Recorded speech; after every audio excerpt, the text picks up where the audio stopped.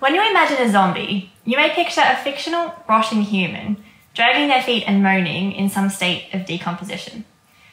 But what if I told you that zombies exist in space? What if I told you that when a star dies, it doesn't just disappear, but it begins a whole new life as a compact object? And what if I told you that these compact objects are so extreme and pack so much mass into tiny areas that they bend time and space itself? This is what my PhD research is focused on understanding a specific type of compact object called a neutron star. A neutron star is a dense remnant of a dead star that is about the size of Melbourne, but holds about one and a half times the mass of our Sun. Now, this is pretty hard to imagine, so to put this into perspective, if you were to go to a neutron star and grab a handful of material and bring it back to Earth, on Earth it would weigh a whopping 5 billion tonnes, just that one handful. Now, that's about five Mount Everests. So you can see that neutron stars operate at the extremes of physics, from the insane densities reached inside of them to their strong gravitational fields, to their strong magnetic fields, neutron stars are positively bursting with physics and represent conditions that we just can't get to on Earth. So I like to think of neutron stars as space laboratories for us scientists. But there's a problem, as there always is in science. Neutron stars don't emit light from nuclear burning like a normal star, and they're very small objects, and space is really big. In fact, we've only found about 2,000 neutron stars in total, when there should be about a billion in our galaxy alone. So, how do we find them? Well, one of the ways is we look for their interaction with things around them. For example, if the neutron star was born in a binary orbit with a normal star. This brings me to accreting neutron stars.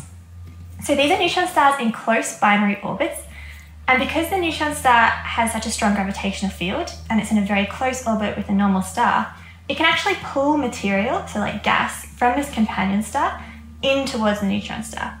And this gas will spiral in and form a structure called an accretion disk. And as the gas is spiraling in through the accretion disk, it's actually heated up and it emits light and energy. And this is exactly what I'm searching for when I'm looking for these space zombies. The light they emit is actually so energetic that it's primarily emitted in the X ray portion of the electromagnetic spectrum. But we're not done yet. These things are even cooler. They can create huge explosions on their surface that emit more energy than the sun does in 10,000 years in less than a minute. These explosions are called thermonuclear X ray bursts and happen when the accreted fuel, so the fuel that the neutron star has consumed, builds up on its surface and ignites in an unstable thermonuclear runaway.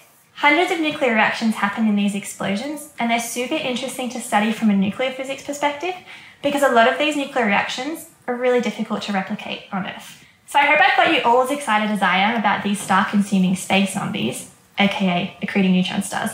This brings me to what my PhD research is actually about. The primary goal of my research is to further understand accreting neutron stars by studying how their strong gravitational field affects their environments, the thermonuclear explosions that can occur on their surfaces, and the geometry and structure of the accretion disk and accretion flow. To achieve these goals, I have used a combination of observations and models. For observations, I have used more than 10 telescopes around the world, and this here is a map of some of the locations of those telescopes, including some telescopes in space. And the reason that we use space telescopes is because X rays actually don't pass through the Earth's atmosphere, which is lucky for us, so it means we're not constantly being irradiated by all this high energy radiation. But it kind of sucks for someone like me because it means it's really difficult for us to get observations of X rays from things outside of our solar system. On the modelling side of things, I have developed my own models as well as using models that are part of larger efforts. So, to the science. The first exciting thing I discovered, and you actually may have seen this in the news kind of recently, is that I coordinated observations of the rise to outburst. So, this means the beginning of the accretion process onto a neutron star for the first time in multiple wavelengths. So, this means that we were using more than seven telescopes to watch this thing switching on. Now, these things are really hard to catch when they're in the process of beginning accretion. So, with the combination of luck and coordination, we were able to watch the whole process from when there was no accretion to the beginnings of the activity to when the accretion actually happened. And this graph here shows the light curve that we obtained. So the light curve means that the light that was coming from this accreting neutron star during this process, and the different coloured lines indicate different telescopes, which means different wavelengths of light that we were able to obtain. Now, these observations are super important in understanding the accretion disk structure and the accretion flow to the neutron star, and they're the first of its kind.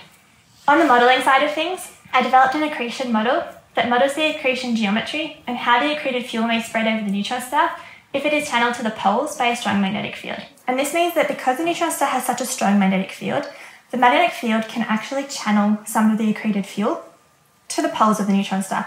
And you end up with a hotspot where all of the fuel is hitting the one spot on the neutron star.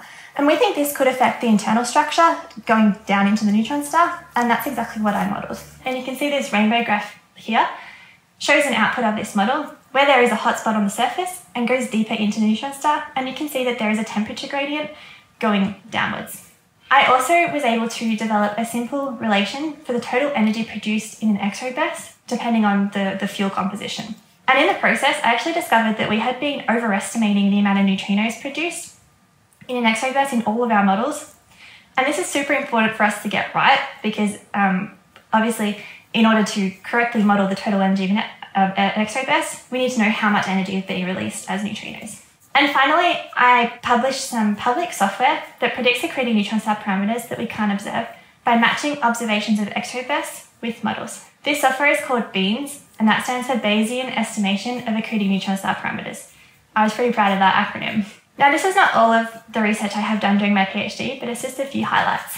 So, to summarise, my research has helped us gain an understanding of how an outburst is triggered, so how the accretion process is triggered onto the neutron star, as well as providing constraints on the accretion disk structure and flow using both observations and models. I've also developed a simple relation for X-ray energy released based on fuel composition, and this can be used by both observers and modelers to further understand accreting neutron star systems.